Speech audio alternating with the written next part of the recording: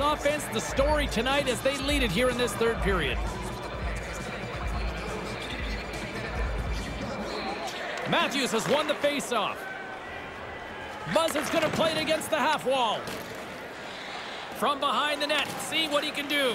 Decides to go to the backhand. Comes up with the stop. I think he got a blocker on that one. Dead center, excellent save. Gets in front of it.